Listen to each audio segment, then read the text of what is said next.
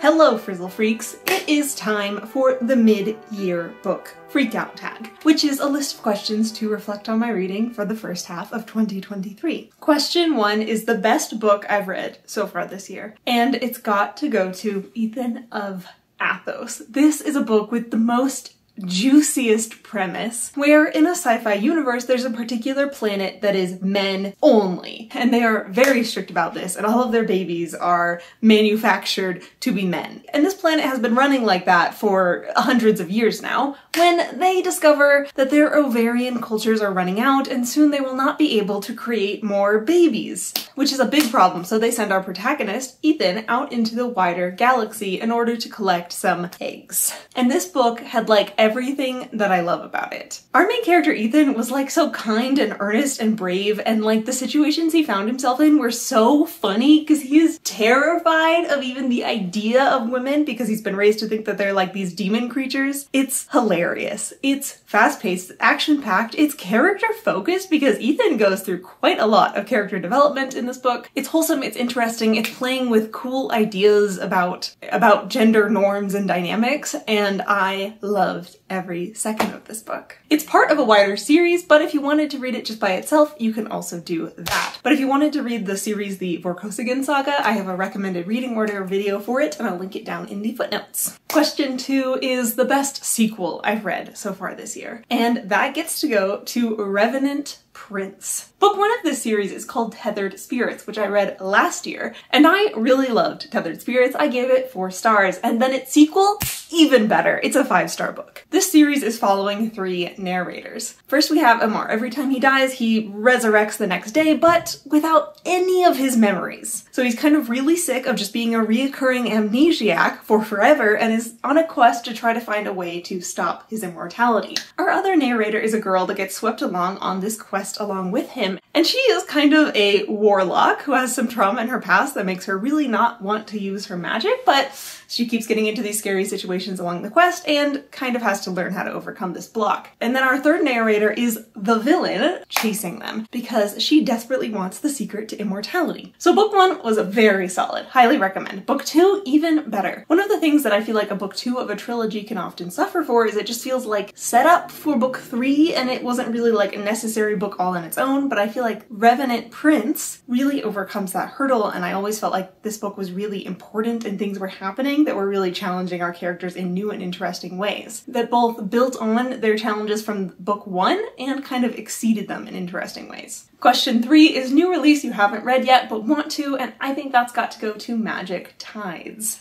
This is a new novella book in the Kate Daniels series, a series about Kate, who is a magical police bounty hunter gal in a world where lots of shapeshifter and sometimes apocalypse things are happening. I read the whole Kate Daniels series and I liked it a lot. So now I'm excited to continue with this kind of spin-off novella of it. Most anticipated release for the second half of the year, System Collapse, the seventh book of the Murderbot Diaries series. I love the Murderbot Diaries series with pretty much every fiber of my being, and I am very, very excited for book seven. Question five, the biggest disappointment of the year. And this has to go to a frugal wizard's handbook for surviving medieval England. I was very excited about this book. I have loved many Brandon Sanderson books in the past. I thought the premise sounded especially interesting because it seemed like a mix of like urban fantasy and Jason Bourne, two things that I like really enjoy. So I felt like this would be maybe like a really awesome book for me. I was thinking it could really be five stars and then I hated it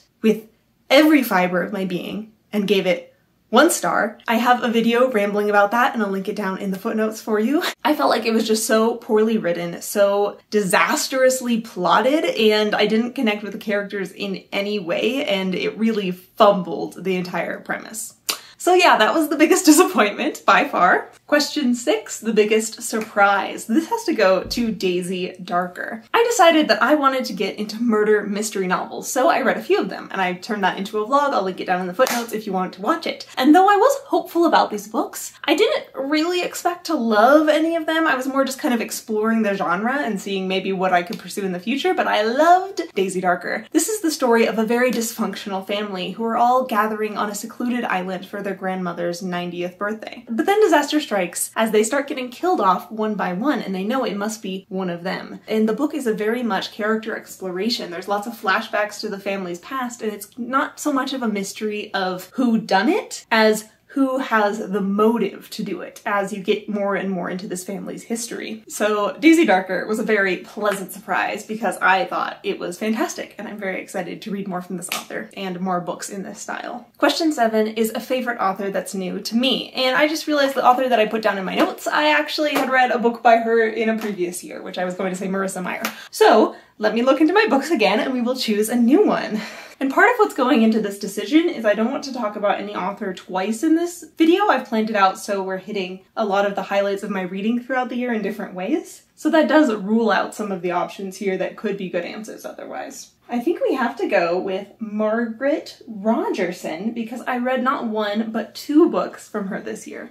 And I liked them both and I loved one of them. So the book by Margaret Rogerson that I loved is Vespertine. And this is like Joan of Arc meets Venom, the Marvel antihero. And it's so well done on a character perspective. Our protagonist is a teenage girl named Artemisia, and she has grown up in a convent of nuns that handle dead bodies. And she really loves this work because she can do it without talking to anyone. And then one day, their convent gets attacked by like a horde of zombie ghost people. And over the course of the fight, she accidentally gets possessed by this super powerful powerful demon, but our protagonist is no slouch and she can resist the demon's influence. So now she just kind of has like this permanent voice in the back of her head insulting her and giving her bad advice and also superpowers. And then she decides to go out on a quest to try to help out with this ghost zombie army problem. And it's so fun and cute. And I'm excited to read more by Margaret Rogerson in the future. Question eight is newest fictional crush. And this hands down goes to Nick Koss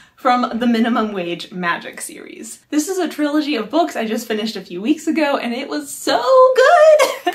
These books really mix like a urban fantasy and cyberpunk setting really well. So we have our main character Opal, a mage, and her partner and sometimes love interest, Nick, a cyborg ninja man.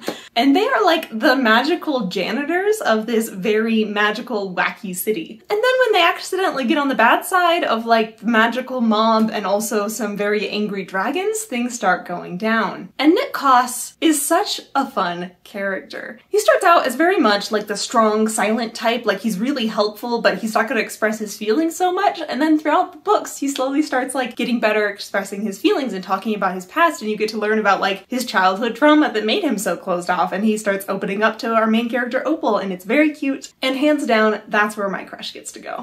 And I also highly recommend the books. That was in the running for both favorite book I read this year and best sequel, but I decided it needed to take the top spot for fictional crush instead. Question nine is newest favorite character. Okay, this gets to go to Adrian from the Renegades trilogy. These books are very much if fun superhero comics were made into a young adult novel, and I loved them. I've got a video reviewing them, and I'll link it down in the footnotes for you. Adrian is one of our protagonists, and he is the son of head honcho superhero of the world. And he's very much been raised in this so pro superhero environment that he started getting ideas that maybe what the superheroes are currently doing isn't enough and they need to go harder and violate some people's fundamental rights, maybe sometimes in pursuits of the overall greater good. And then throughout the trilogy, he's kind of wrestling with these ideas of do I stay in the superhero code that my parents have set out, or do I strike out and do what I think is actually right for the city? He has lots of interesting moral dilemmas, and he's also very kind the whole time to his love interest and sometimes nemesis our other protagonist, Nova. And he also has like the coolest and oftentimes most underutilized superpower where he, anything he draws can come to life, which is just like so handy in so many ways. Number 10, book that made you cry. I actually have an answer for this one. I haven't had a book make me cry for years and years and years, but one did it this year. And that book is Divine Rivals. This book kind of takes place during like fantasy World War One, where we are following two reporters that are both competing for the same promotion as their lives kind of intersect with the war ongoing on the other battlefront. And this book, the first half, it got me. I was so happy about the romance, I was so sad about the tragedy that happens, and I legitimately cried at that. And it was just done so well, and it makes me so excited to read more from this author. Now, I didn't love the second half of this book as much as the first, but the first half of the book, oh, it got me in its clutches so well. Question 11, book that made you happy. This has to go to Miss Percy's Pocket Guide to the Care and Feeding of British Dragons. This book takes place in historical England where we are following a drab spinster, Miss Mildred Percy, in her miserable life, and then one day she gets as part of a mysterious inheritance, a dragon egg, which quickly hatches and transforms her life as now she has to take care of this little rambunctious dragon. These books, I read book one and book two, had me laughing so hard. The narration is very much full of witty parentheticals and I just clicked with it. And it's definitely a very wholesome, low stakes book, and I found a lot of happiness just rooting for the characters here. Question 12, we're going to go with Best Adaptation.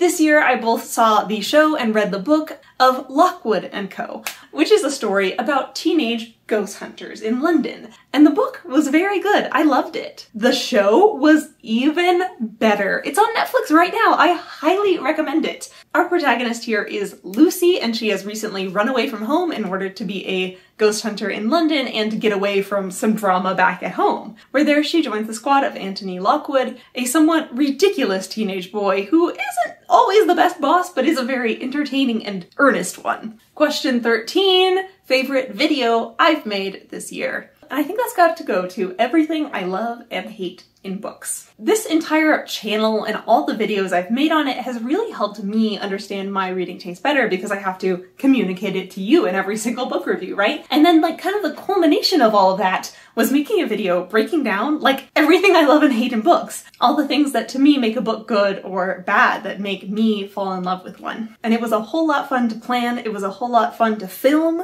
and from that video I have gotten a lot of great book recommendations from you guys, and I'm always looking for more personalized book recommendations, so if you want to head over and watch everything I love and hate in books and then come up with books that will match that for me, please do. Question 14, most beautiful book you've bought this year or received. So this question is the most difficult question for me because I am not a fan of owning things. I love art, I love stories, but I'm not into just owning books. When I am looking to read a book, here's the order of priority I look for things. First, a free audiobook, like from the library, then a free ebook, like from the library, then a free physical book, like from the library.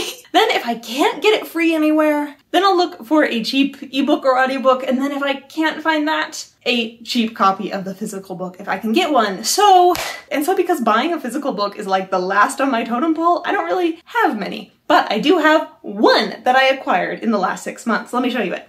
This is Witch King, a free copy I got from the publisher. Like, I do like the gold here. It has a nice visual texture to it. But like, I don't think I'd call this cover the most beautiful book of the year. And I don't think I'd call the contents of this book the most beautiful book of the year because I don't really love it. 15. What books do you need to read by the end of the year? I'm just going to set myself one, which is Kindred by Octavia E. Butler. I've read a book by Butler before and it was entrancing and so well written, and I've heard so many good things about Kindred, and I very much want to read it. And then maybe watch the show afterward. Then question 16, booktubers I've been loving in the first half of the year, and I'm going to link a handful of channels in the footnotes for you to peruse. All of these ones I chose because they have less than a thousand subscribers, and I love watching their videos. Stay tuned for a future Frizzle Friday where I'm going to do a stats video video, I set a lot of fun goals for myself at the beginning of this year, and I'm going to do a check-in to see how I'm doing on all of those and maybe set some new ones. So thank you for watching.